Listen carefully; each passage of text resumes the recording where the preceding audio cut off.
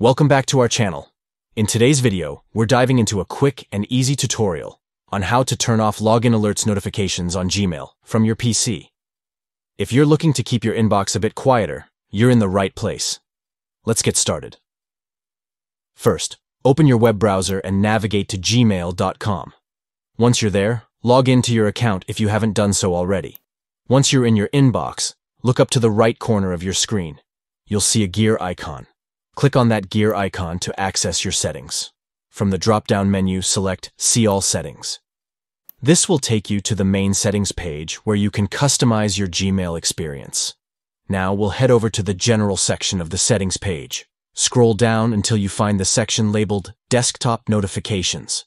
This is where you can manage your notification preferences. Under Desktop Notifications, you'll see a few options. Here, select Mail Notifications off. This choice will ensure that you no longer receive those pesky login alert notifications, distracting you from your important emails.